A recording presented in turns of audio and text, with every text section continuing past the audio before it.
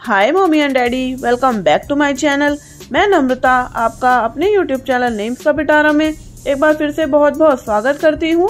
आज मैं लेकर आई हूँ लड़कों के लिए 10 बहुत ही मॉडर्न और स्टाइलिश नेम्स आशा करती हूँ आपको मेरी ये वीडियो पसंद आएगी। वीडियो अच्छी लगे तो लाइक करें शेयर करें कमेंट करें। अगर आप मेरे चैनल पर फ़र्स्ट टाइम आए हैं तो प्लीज़ मेरे चैनल को सब्सक्राइब करें। बेल आइकन को प्रेस करना ना भूलें। जिससे कि आपको मेरी आने वाली वीडियोस की नोटिफिकेशन मिलती रहे। तो चलिए वीडियो स्टार्ट करते हैं। फ़र्स्ट नेम है अवदान। अवदान का मीन्स होता है सूर्य। नेक्स्ट नेम है पांशुल। पांशुल का मीन्स होता है भगवान शिव।